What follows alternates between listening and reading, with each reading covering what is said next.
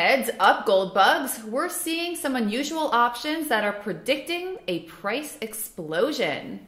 Gold was in a downtrend in 2020, but a new year has sent the metal to a two month high. Option call volume has been three times higher, helping the boost.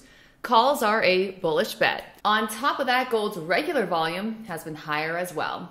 You're up to date on commodities. I'm the Voz. Have a good night.